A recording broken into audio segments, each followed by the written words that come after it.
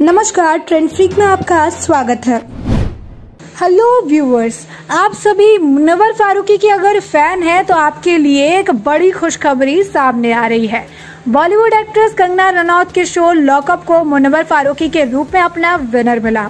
Lockup में रहते हुए मुनवर फारूकी ने न केवल लोगों का दिल जीता, बल्कि शो जीतते हुए 30 लाख रुपए और ढेर सारे इनाम अपने साथ ले गए।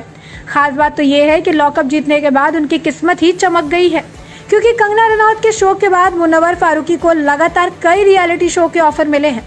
जहाँ मुनवर को पहले खतरों के खिलाड़ी 12 के लिए कंफर्म किया गया था तो वहीं अब उन्हें Bigg Boss O T two के लिए भी अप्रोच किया गया है। जी हाँ बिल्कुल सही सुना आपने।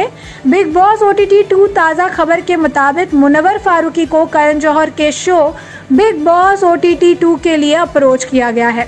हालाँकि इस मामले पर अभी तक आधिकारिक तौर से कुछ नहीं कहा गया है।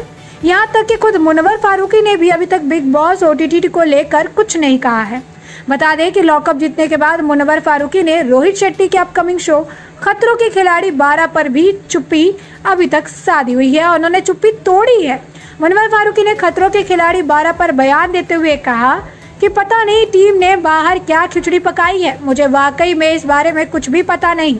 मुझे लगता है आप लोगों को मुझसे पहले ही पता चल जाएगा।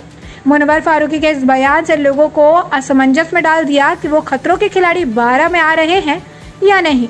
बता दें कि मुनवर फारूकी कंगना रनौत का शो लॉकअप जीतने के बाद मिस्ट्री गर्ल नाजिला को लेकर चर्चा में आ गए। मुनवर ने मिस्ट्री गर्ल के साथ अपनी एक फ़ोटो भी शेयर की, जिसमें दोनों के साथ में रोमांटिक अंदाज में नज़र आ रहे हैं। अगर आपको हमारी वीडियो पसंद आई हो तो इसे लाइक सब्सक्राइब और शेयर करना ना भूले। और साथ ही बेल आइकन दबा दें, जिससे आपको हमारे आने वाले और वीडियोस की भी अपडेट मिलती रहेगी। धन्यवाद।